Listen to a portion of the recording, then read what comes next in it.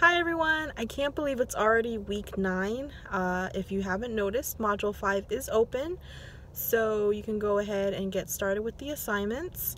And also, uh, please dive into the readings, watch the videos. Um, I, I like this unit because it's a new, it's not necessarily like within the last year new, but it is an interesting idea about open educational research and resources. So, what is going on with open educational resources is the fundamental idea that education should not be capitalized, that findings and information should be shared. Uh, some people would argue that it's a very millennial philosophy that is more social and also not meant to to in any way shape or form confine creativity.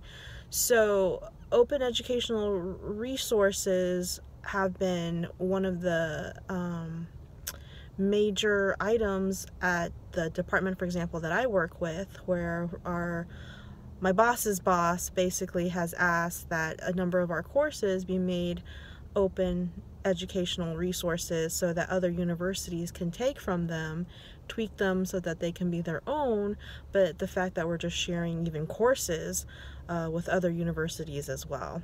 So as you can probably also see that I'm in my car right now. I'm on, I'm traveling, but I still wanted to deliver an announcement to you all to get you squared away for this week, and so that's why there's kind of people walking in the back.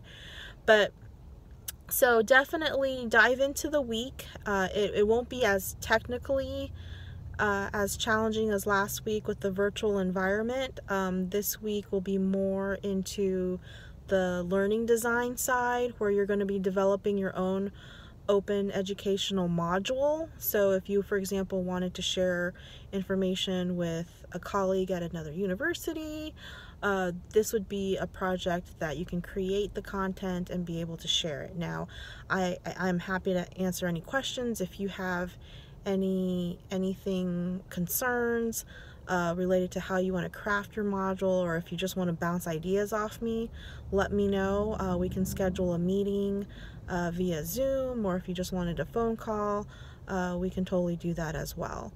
Um, I'm also planning on sending you again uh, personal emails just to see how you're doing with your portfolios and again if you want any feedback now before the end. Uh, this week you can go ahead and add your virtual reality environments. I'll be trying to get you feedback about those as soon as possible, but that's another piece that you've already finished that can go into your e-portfolio. Uh, and I think those are pretty much the announcements. I hope you really think about what the purpose of open educational resources are and and see what's out there. Uh, it's it's a good time to be an educator and uh, an educational designer as well. Uh, so, all right, well, have a great week, y'all, and I hope to to hear from you soon. Take care. Bye.